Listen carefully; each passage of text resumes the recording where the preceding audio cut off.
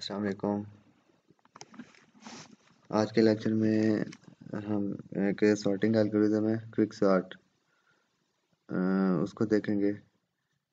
इससे पहले हमने दो एल्गोरिदम देखे थे सॉर्टिंग के bubble sort and insertion sort उसके अलावा एक सिलेक्शन सॉर्ट था, उसको मैंने आपको एज असाइनमेंट दिया था तो वो भी आपने जमा करवानी है। एलएमएस पे। तो आज हमारा क्विक सॉर्ट है, ये भी एक सॉर्टिंग एल्गोरिदम है।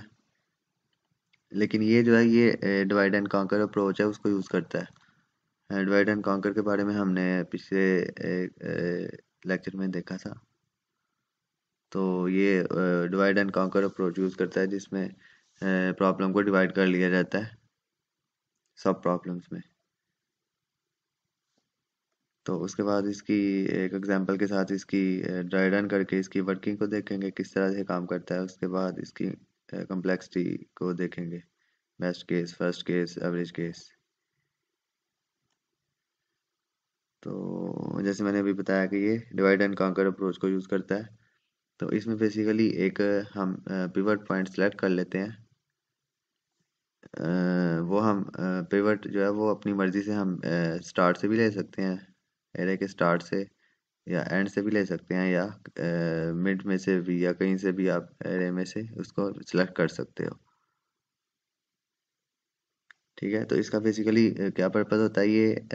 जब इसको एल्गोरिदम पे इस पिवट को लेके जाया जाता है, इसको रन किया जाता है तो एल्गोरिज्म रन होने के बाद पिवट जो है वो अपनी एक्चुअल पोजीशन पे आ जाता है। और पिवट के जो लेफ़्ट साइड पे एलिमेंट्स होते हैं वो सॉर्टेड होते हैं। सॉर्टेड नहीं होते, लेकिन वो लेसर होते हैं पिवट से। ठीक है? और जो राइट साइड पे होते हैं वो ग्रेटर होते हैं। ठीक है? ये लिखा हुआ है in such way that elements in the left half are smaller ठीक है? पिवट के जो लेफ़्ट साइड पे एलिमेंट्स होते हैं वो स्मॉल होते हैं पिवट से। और जो राइट साइड पे होते हैं वो ग्रेटर होते हैं। तो अभी हम इसको देखेंगे एग्ज़ाम्पल करके तो फिर आपको समझ आएगी। ठीक है तो इसके तीन स्टेप्स हैं। सबसे पहले आप पिवट फाइंड आउट करते हैं और एरे को दो पार्ट्स में डिवाइड कर लेते हैं, दो हाफ़ में। उसके बाद लहदा लहदा हाफ़ जो होता है left half and right half उनको लहदा से आप दोबारा से उनकी लहदा से पार्टीशन करते हो। फिर इसी तरह ये रिकर्सिवली जो है ना, ये रिकर्सिव एल्गोरिदम है। डिवाइड एंड कांकर अप्रोच को भी यूज़ करता है और रिकर्सिव भी है। कि खुद से फ़ंक्शन को कॉल कर रहा होता है। मज़ीद जो है ना फर्दर डिवाइड कर रहा होता है अपनी एरे को सब एरे में। जब तक ये एंड पे सिंगल एलिमेंट नहीं आ जाता एरे का। डिवाइड करता जाता है, करता जाता है, जब तक एंड पे सिंगल एलिमेंट नहीं आ जाएगा। तो ये मेन जो फ़ंक्शन है, इसका वो ये है, जो कि जिसका नाम क्विक सार्ट है। और इसके तीन पैरामीटर पास हो रहे हैं। ए नाम है एरे का एल मतलब लोएस्ट पॉइंट और एच जो है वो हाईएस्ट पॉइंट मतलब एरे का ज़ीरो इंडेक्स को एल का नाम दिया गया और जो हाईएस्ट पॉइंट होगा हाईएस्ट इंडेक्स होगा, वो आपका एच में आएगा। ठीक है? तो अगर एल होगा लेसर देन एच मतलब ज़ीरो हमेशा छोटा ही होगा आपके, जो लेंथ होगी एरे की, उससे। तो अगर तो ये कंडीशन ट्रू है तो क्या करे? पार्टीशन वाला फ़ंक्शन है एक अलहदा से, उसको कॉल करे। और इसमें भी यही पैरामीटर पास हो रहे हैं। ठीक है? और ये वाला फ़ंक्शन एक वैल्यू रिटर्न करेगा, जो कि फिर आके क्यू में सेव होगी। ठीक है? इनिशियली जब ये फ़ंक्शन कॉल होगा तो ये ये जो एरे होगी ज़ीरो उसका स्टार्टिंग इंडेक्स होगा, और एरे की जो लेंथ होगी, वो एच में जाएगा। जो भी लेंथ होगी, वो एच में आएगी। तो पार्टीशन वाला फ़ंक्शन है, एक अलहदा से ये वाला, ये कॉल होगा। इसमें अब ये बेसिकली पिवट हमने सेलेक्ट किया है। हमने इस एग्जांपल में, इस एल्गोरिदम में जो लास्ट वाला एलिमेंट है एरे का उसको एज अ पिवट लिया है। ठीक है? एच हमारा लास्ट लास्ट इंडेक्स था। तो लास्ट इंडेक्स को हमने एज अ पिवट ले लिया ठीक है? आगे फिर ये पूरा एल्गोरिथम है, इसको अभी हम जब एग्जांपल करते हैं तो इसके साथ साथ मैं आपको समझाता हूँ।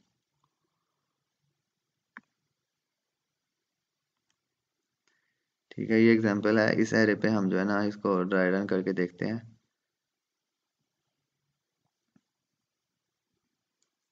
इसकी कम्प्लेक्सिटी भी देखते हैं। अभी पेपर पे मैंने सॉल्व किया वो उसको मैं आपको दिखाता हूँ। मैंने वीडियो बनाई है बेसिकली मोबाइल के थ्रू लेकिन उसका साइज़ जो है ना बहुत ज़्यादा बना है। टू पॉइंट कुछ जीबी में आया वो तो वो अपलोड नहीं हो सकती इतनी। अगर हो अभी तो बहुत ज़्यादा टाइम लगेगा तो अब मैंने सोचा कि मोबाइल से रहने दो तो यहाँ पे मैं बना के तो फिर, आपको यहाँ पे पिक्चर्स के थ्रू समझा देता हूँ मैं। तो इसकी जो बेस्ट केस के लिए और एवरेज केस के लिए कम्प्लेक्सिटी आएगी वो एन लॉग एन की फॉर्म में आएगी और वर्स्ट केस के लिए एन स्केयर आएगी। ये भी डिटेल में हम देखते हैं एग्ज़ाम्पल के बाद। ठीक है तो मैं आपको एग्ज़ाम्पल दिखाता हूँ।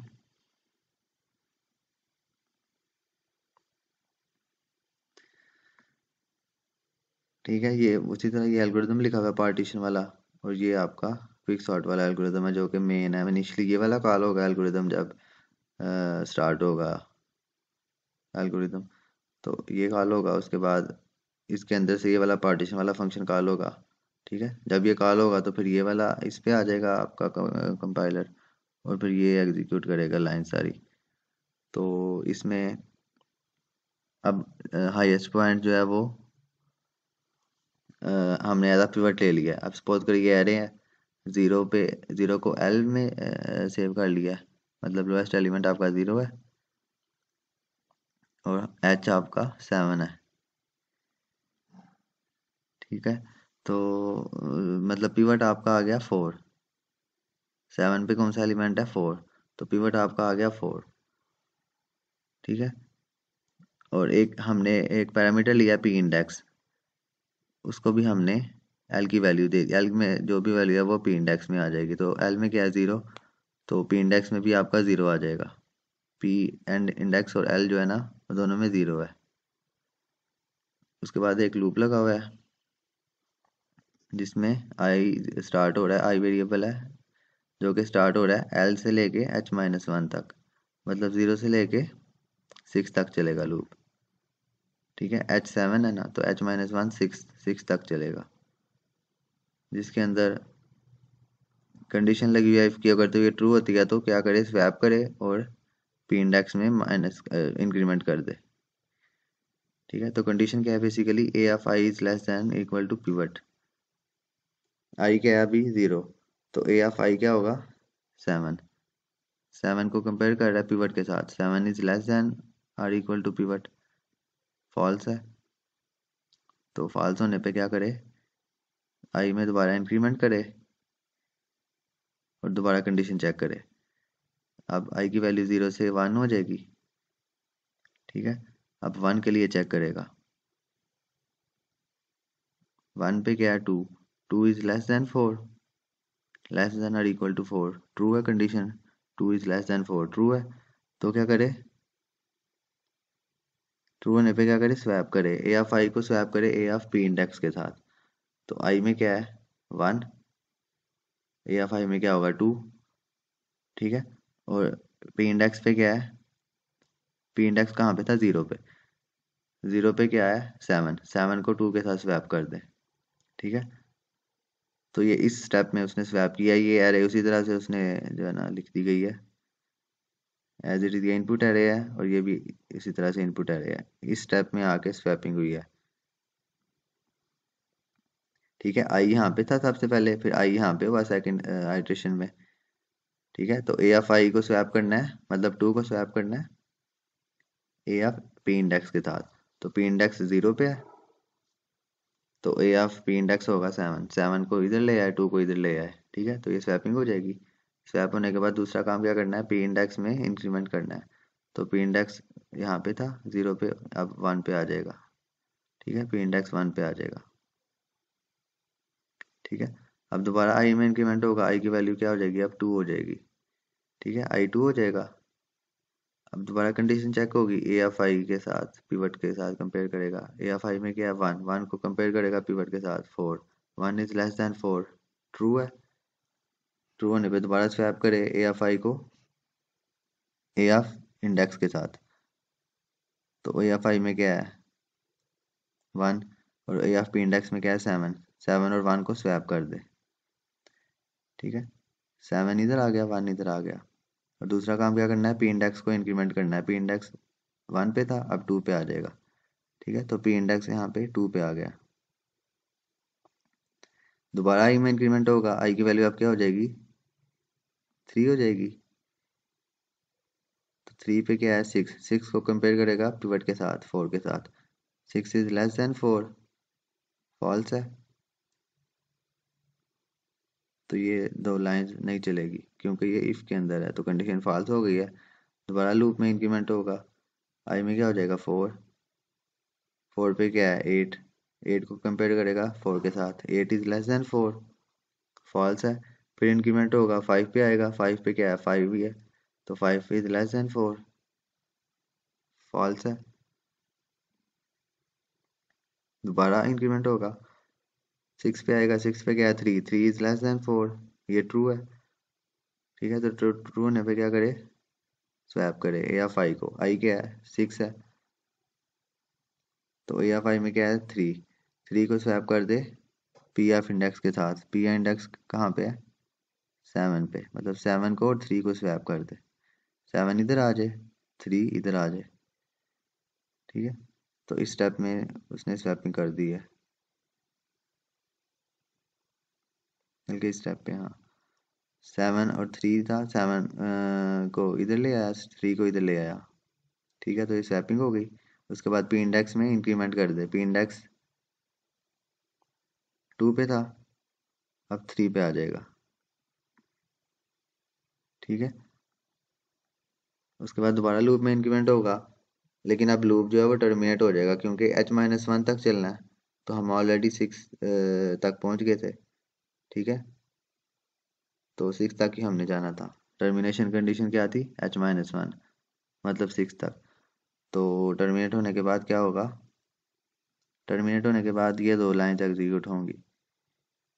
ये दोनों लाइन फॉर लूप से बाहर है।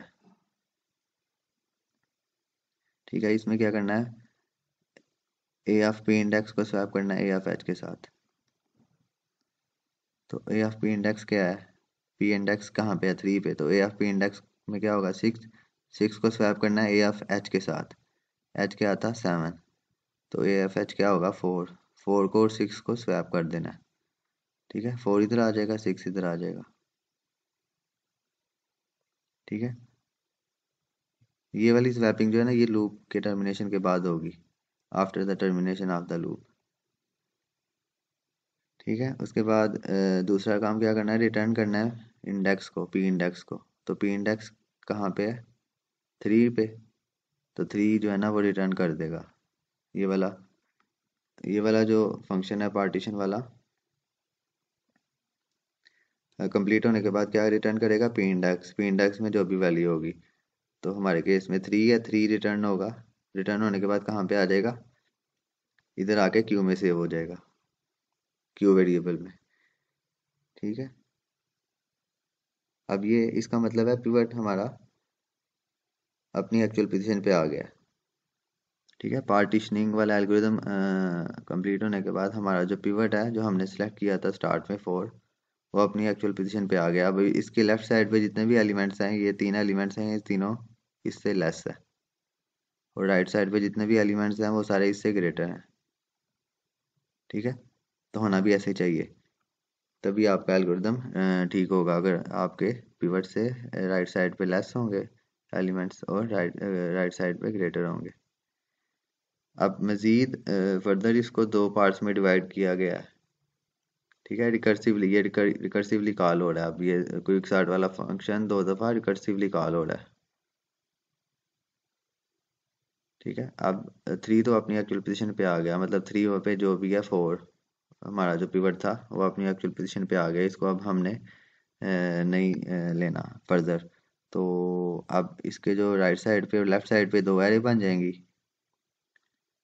इन दोनों को अब हमने अलहदा अलहदा दोबारा से उसी तरह से सारा प्रोसीजर करना है पार्टीशनिंग वाला। ठीक है? तो ये इस एरे के लिए ये वाला फ़ंक्शन इस तरह से कॉल होगा। एरे का नाम यही होगा। एल स्टार्टिंग वैल्यू उसी तरह से ज़ीरो और कहाँ तक जाएगी? टू तक। टू कैसे आएगा? यहाँ पे थ्री रिटर्न हुआ था। जब पार्टीशन ने रिटर्न किया था। इंडेक्स थ्री तो थ्री माइनस वन क्या हो जाएगा? टू मतलब Q minus one three minus one two तो ये ये वाली एरे टू तक चलेगी। मतलब ये जो रिकर्सिव कॉल हुई है, ये वाली एरे हुई है। और इस वाली लाइन से रिकर्सिव कॉल जब होगी तो ये वाली एरे होगी। वो इस तरह से क्यू प्लस वन थ्री था क्यू में क्या आया था? Three three plus one four four से लेके सेवन तक जाएगी। तो ये वाली एरे कॉल होगी। ठीक है? तो इस तरह ये रिकर्सिवली कॉल होगी। होती जाएगी होती जाएगी आपकी एरेज जब तक कि आपके एंड पे सिंगल एलिमेंट नहीं आ जाता। ठीक है? अब जब ये वाला कॉल होगा पार्टीशनिंग के लिए ये वाला एरे कॉल होगा तो इसका पिवट हमने थ्री सेलेक्ट किया होगा। ठीक है? तो जब ये थ्री अपनी एक्चुअली पे आएगा तो फर्दर ये एंड पे दो एलिमेंट्स रह जाएँगे। फिर जब दो रह जाएँगे, उनके लिए फिर दोबारा से अलहदा से ये कॉल होगा फ़ंक्शन फिर दोबारा एंड तक करता जाएगा ये रिकर्सिवली कॉल जब तक एंड पे आपका सिंगल एलिमेंट नहीं आ जाता। उसके लिए ये कंडीशन लगी हुई है ना? If less low is less than high ठीक है? तो ये तब तक मतलब जब तक आपके पास सिंगल एलिमेंट नहीं आ जाता, तब तक ये आपकी तीनों लाइंस चलती जाएँगी। पार्टीशनिंग वाला फ़ंक्शन भी कॉल होता जाएगा और ये रिकर्सिवली भी कॉल होती जाएँगी चीज़ें। जब तक आपका लो और हाई लो जो है ना, वो लेस होगा हाई से। तो इसी तरह ये वाली एरे भी फर्दर डिवाइड होती जाएगी जब तक आपका सिंगल एलिमेंट नहीं आ जाता। ठीक है? तो ये प्रोसीजर है इसका क्विक सॉर्ट का। तो हमने सिर्फ़ एक पार्टीशनिंग करके दिखा देना कि इस तरह से ये काम करती है, बाकी फर्दर वो डिवाइड होती जाती हैं। जब इसकी एल्गोरिदम की कोडिंग की जाती है किसी भी लैंग्वेज में। ठीक है, ये हमने सिर्फ़ पार्टीशनिंग वाला फ़ंक्शन जो है ना, ये वाला ऊपर वाला जो फ़ंक्शन था पार्टीशनिंग वाला एल्गोरिदम इसको ड्राई रन किया है, एक दफ़ा किया सिर्फ़। ठीक है, एक दफ़ा किया है तो पीवट अपनी एक्चुअल पोजीशन पे आ गया, उसके बाद मज़ीद दो बन गई हैं एरे अब इसी तरह, इस एरे पे भी, इसी तरह से ये दोबारा से पार्टीशनिंग वाला कॉल होगा फ़ंक्शन इस एरे पे भी। फिर दोबारा इनकी जो दो सब एरे बनेगी, उन पे अलहदा अलहदा होगा। फिर इसके लिए जो दो बनेगी, उनके लिए अलहदा दोनों के लिए कॉल होगा। इसी तरह ये फर्दर होता जाएगा जब तक एंड पे सिंगल एलिमेंट नहीं आ जाएगा। ठीक है तो ये इस तरह से काम करती है क्विक सर्ट उसके बाद इसकी कम्प्लेक्सिटी पे आते हैं।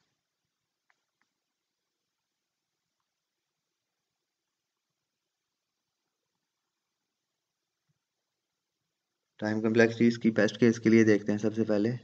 तो बेस्ट केस के लिए बेस्ट केस का मतलब है कि हमने ये कंसिडर किया है कि आपकी जो एरे डिवाइड हुई है पार्टीशन हुई है, उसकी दो पार्ट्स में वो इक्वली डिवाइड हुई है। मतलब आपकी अगर एरे के सेवन सेवन एलिमेंट्स हैं तो तीन इधर आए हैं, तीन इधर आए हैं। ठीक है? दोनों इक्वली आए हैं डिवाइड होने के बाद। मतलब आपका जो पिवट आया वो मिड में आया है। उसके बाद इनकी जब फर्दर डिवीज़न होगी तो वन वन एलिमेंट आ जाएगा। फिर जब इनकी फर्दर डिवीज़न होगी तो वन वन मतलब इक्वली डिवीज़न हो रही है दोनों सब एरेज की।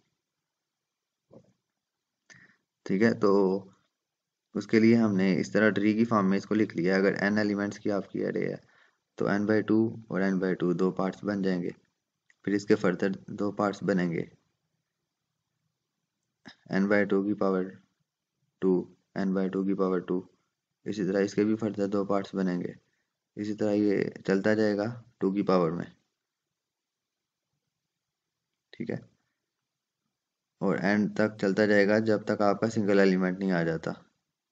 ठीक है? तो उसको हमने इस फॉर्म में लिख दिया। एन डिवाइडेड बाई टू की power K is equal to one इसको हमने सपोज़ कर लिया। ये इस तरह की एल्गोरिथम इस तरह की एग्जांपल हमने एक पिछले लेक्चर में भी की थी, जिसमें हमने रिकर्सिव एल्गोरिज्म को देखा था। रिकरेंस रिलेशन की एग्जांपल एक देखी थी डिवाइडिंग फ़ंक्शन के लिए। लेक्चर नंबर सेवन था आई थिंक ठीक है? तो उसके लिए हमने इस तरह की एग्जांपल देखी थी। ये मैंने यहाँ पे रेफरेंस भी दिया हुआ है।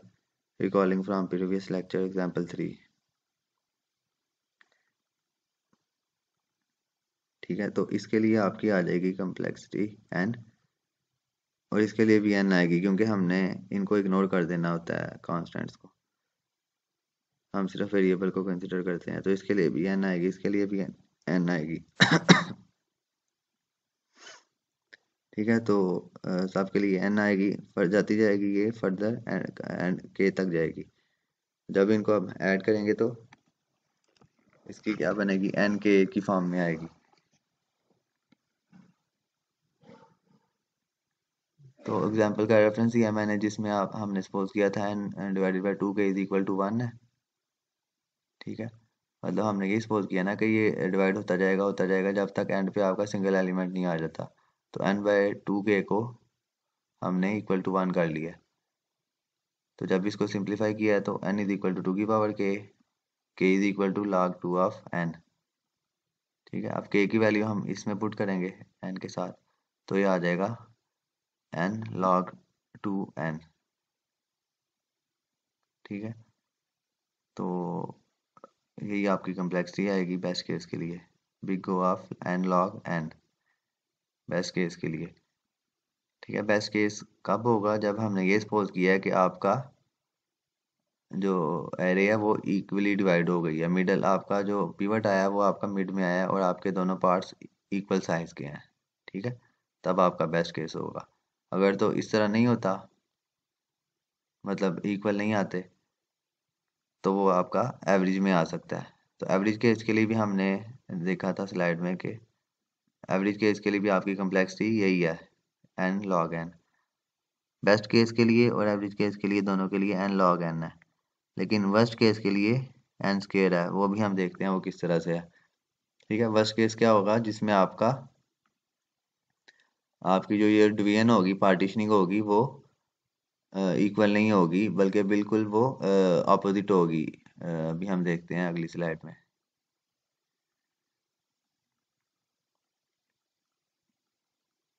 ठीक है, ये वर्स्ट केस के लिए एनालिसिस है इसका।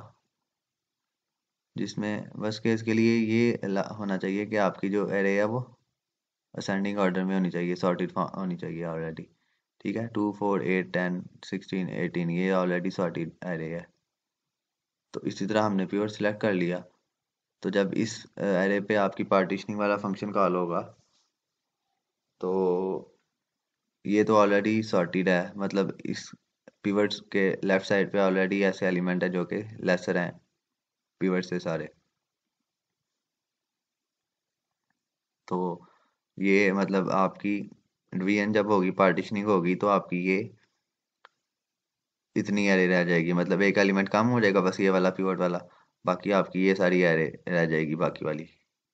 ज़ीरो से लेके फाइव तक एज इट इज़ फिर जब इसको हम पीवट सेलेक्ट करेंगे तो इससे पीछे वाले जितने एलिमेंट्स हैं, वो भी ऑलरेडी सॉर्टेड है सारे। ठीक है तो आपका पीवट को निकाल के बाकी एरे आपकी एज इट इज़ आ जाएगी। इसी तरह ये चलती जाएगी हर रिकरेंस रिकर्सिवली जब तक आपका सिंगल एलिमेंट नहीं आ जाता, ठीक है? तो इसकी कम्प्लेक्सिटी इस तरह से निकलेगी सपोज़ करो टोटल एन साइज़ की आपकी एरे है, ठीक है? तो नेक्स्ट आइट्रेशन में आपकी एन माइनस वन दफ़ा वो चलेगी। फिर N minus two N minus three इसी तरह ये चलती चलती आपकी वन तक जाएगी, जब तक आपका सिंगल एलिमेंट नहीं आ जाएगा एरे का। ठीक है तो जब इस तरह इस फॉर्म में आपका कम्प्लेक्सिटी आए तो उसको हम लिखते हैं N into N plus one divided by two ये हमने क्लास में भी देखा था। तो इसको जब सिंप्लीफाई करेंगे तो आपका एन स्केयर जो हाईएस्ट ऑर्डर है, वो बचेगा। एन को हमने इग्नोर कर दिया क्योंकि हाईएस्ट को हमने देखना होता है तो एन की स्केयर एन स्केयर हाईएस्ट है? तो big O of N square इसकी कम्प्लेक्सिटी आएगी। ठीक है?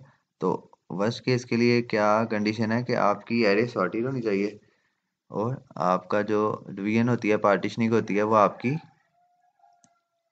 आ, सिर्फ़ एक एलिमेंट कम होता है दूसरी साइड पे left side left right side पे भी पार्टीशनिंग ही नहीं होती। अगर आप पिवट आप सेलेक्ट करते हो ये वाला। अगर इधर से पिवट सेलेक्ट करोगे राइट साइड से तो आपका ये वाला एलिमेंट निकल जाएगा, बाकी आपकी सारी एरे बचेगी। ठीक है?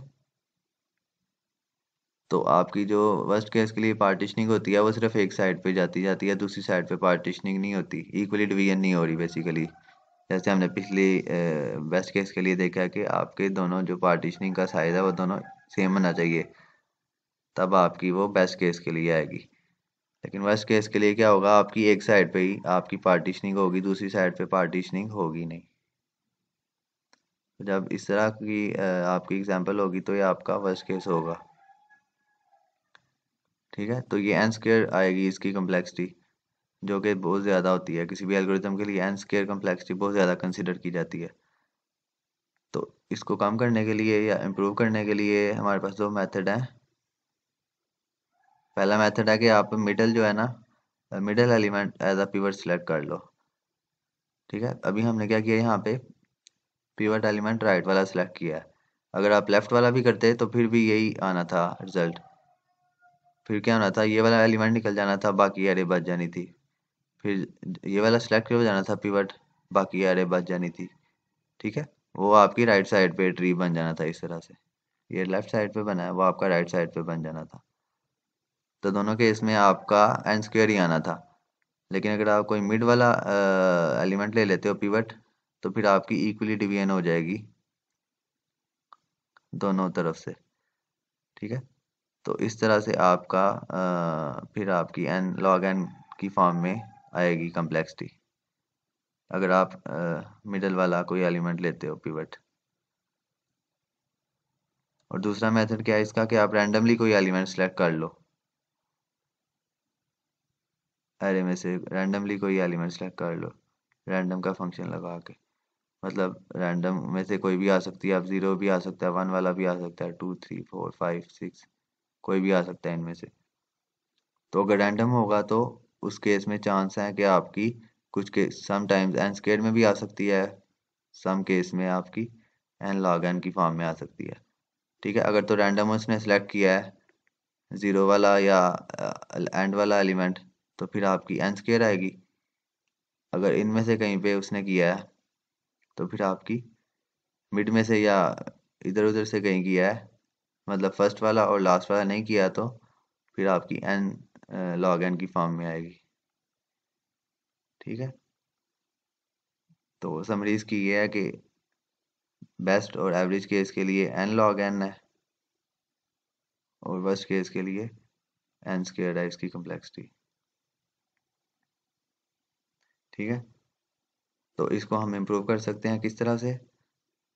दो मेथड हैं, एक तो आप मिडल एलिमेंट ले लो एज अ पिवट और दूसरा रैंडमली आप कोई भी ले सकते हो एलिमेंट ठीक है? तो ये आज का लेक्चर था। इसको आप लोग देखना, पढ़ना। तो लेकिन इससे पहले आपको पिछला लेक्चर पढ़ना पड़ेगा अगर आपने ये वाली चीज़ आपको नहीं समझ आई पता तो इसके लिए आपको पिछला लेक्चर पढ़ना पड़ेगा, जिसमें मैंने रिकर्सिव रिकरेंस रिलेशन के बारे में बताया हुआ ठीक है? तो अगर फिर भी नहीं समझ आती तो आप ईमेल के थ्रू क्वेश्चन वगैरह कर सकते हो। अभी तक मुझे किसी का क्वेश्चन नहीं आया वैसे तो पता नहीं आप लोग पढ़ रहे हो कि नहीं। तो इसको पढ़ो आप लोग। बाकी भी जो लेक्चर पहले अपलोड है दो उनको भी देखो। अगर कोई क्वेश्चन आए तो मुझसे पूछ लेना आप ईमेल से। ठीक है? ओके अल्लाह हाफिज़।